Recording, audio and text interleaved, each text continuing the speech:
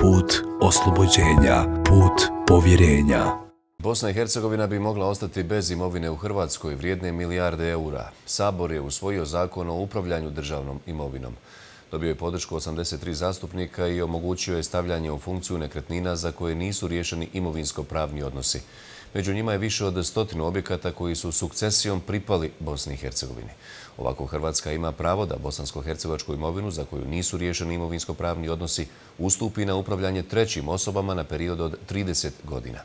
Ukoliko Hrvatska sklopi ugovor sa trećom stranom, a umeđu vremenu ne bude dogovora sa Bosnom i Hercegovinom, treća strana će nakon 20 godina steći pravo na tu nekretninu na osnovu dosjelosti, čime bi Bosna i Hercegovina ostala bez svoje imovine. Među glasovima koji su podržali donošenje zakona je i glas Bože Ljubića, predsjednika glavnog vijeća Hrvatskog narodnog sabora Bosne i Hercegovine i bivšeg bosansko-hercegovačkog parlamentarca. A usvajanjem novog zakona imovina firmi, građana, ali i institucija Bosne i Hercegovine u Republici Hrvatskoj, vrijedna nekoliko milijardi maraka, mogla bi trajno biti izgubljena. Ovo tvrde brojni stručnjaci, bez obzira na pojašnjenja hrvatskih vlasti da je jedini cilj aktiviranje zapuštenih objekata. Imovina BiH u Hrvatskoj se sada zakonski može dodijeliti trećim licima na korištenje do 30 godina. Po drugom, zakonu dosjelosti, korisnik imovine nakon 20 godina stiče pravo vlasništva. Većina stručnjaka u BiH, ali i susjednoj Srbiji, u ovome vidi novi korak ka otimanju imovine susjednih država koja je započela 1991. godine. Ovaj zakon predstavlja ozbiljan problem. Zapravo to je još dodatni teret za i onako problematičnu situaciju, dakle, odnosno nemogućnost da Bosna i Hercegovina zaštiti svoju imovinu, zaštiti svoja prava. Zakon nije duhu sporazuma o sukcesiji kojim je utvrđena zašta imovine zemalja nasljednica bivše SFRJ i njeno vraćanje vlasnicima. U suprotnosti je i sa zaključcima stalnog zajedničkog odbora za sukcesiju iz 2015. godine jedinu korist iz ovakvog poteza, ukoliko bi se on realizirao, upravo ima transnacionalna transiciona mafija. Ali za to nije krivo samo, nisu krivi uh, igrači u Hrvatskoj, nego u, tom, u toj priči su učestvovali i učestvovali i strukture iz Bosne i Hercegovine. Da bi Cero mogao biti u pravu, potvrda je MUK institucija u BiH. Vijeća ministara na čelu sa gospodinom Zvizdićem, trenutno predsjedništvo u kojem sjedi gospodin Izetbegović je očito pokazalo da ne zna zaštiti interese Bosne i Hercegovine. Najodgovorniji ne žele davati izjave, već odgovornost prebacuju jedni na druge.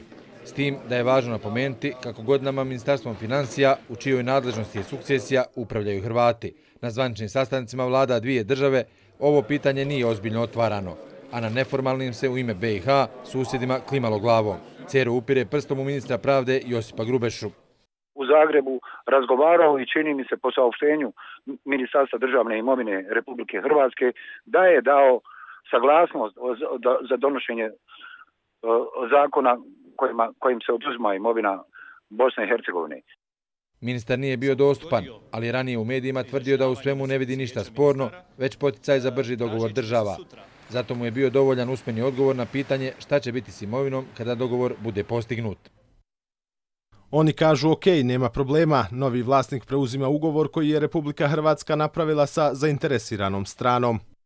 Koliko će firmi iz BiH to biti u stanju, ministra nije zanimalo, kao ni urgencije zaduženi za sukcesiju da uradi svoj dio posla kako do ovoga ne bi došlo. Za imovinu BiH nije brinuo ni Božo Ljubić, koji je u Hrvatskoj glasao za sporni zakon.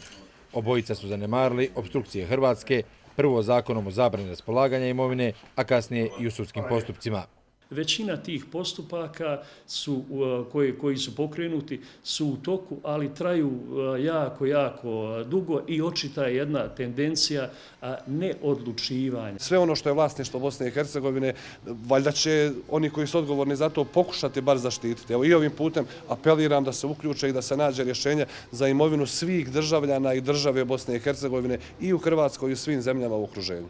BiH ipak nisu vezane ruke, ali je pitanje hoće li neko napokon pokrenuti pitanje reciprociteta, ali korištenja vode iz BiH za pokretanje hrvatskih hidrocentrala.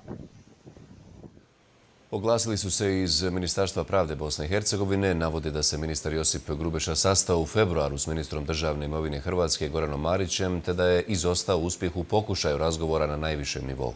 Dodaje se i da nakon niza pregovora ugovor o uređenju imovinsko-pravnih odnosa između dvije zemlje nije zaključen.